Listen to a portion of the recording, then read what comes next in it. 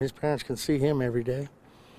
We have to go to the cemetery to visit my wife. It was supposed to be a day of closure for Victor Potvin. Why should he be able to walk around, go to work, and live a happy life?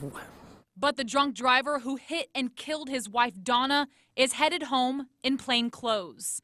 An Oklahoma County judge deciding 23 year old Logan Reed doesn't deserve prison time.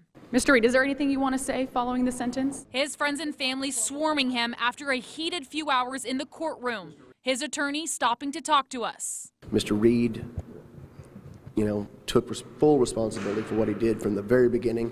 It was September 2018 near Northeast 23rd and Air Depot.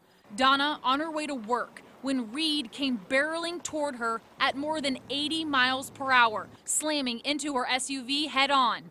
Donna died instantly, while Reed blew more than twice the legal limit. Not a day don't go by we don't think about her. But Wednesday, the 23 year old deciding to face Donna's family, telling them he's sorry before hearing his own fate.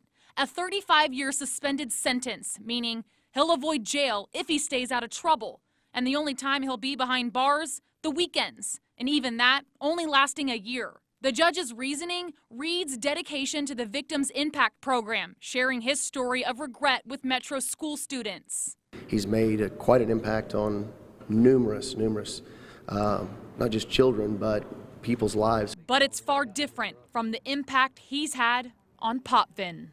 He got off easy. That's ridiculous. He took a life.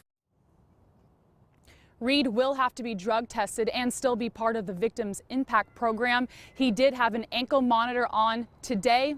That was taken off shortly after the sentence. Live in Oklahoma City, Peyton Yeager, Oklahoma's News 4.